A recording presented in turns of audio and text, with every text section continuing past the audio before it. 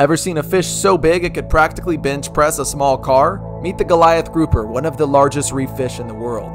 This heavyweight champion can grow to be over 8 feet long and tip the scales at over 700 pounds. With a mouth the size of a small cave, it gulps down crustaceans, small sharks, and just about anything that fits. Though it's no buffet free for all, these giants are slow, methodical hunters.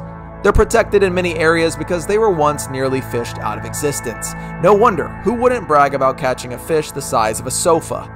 Conservation efforts have helped populations rebound, making them living proof of the power of protecting our oceans.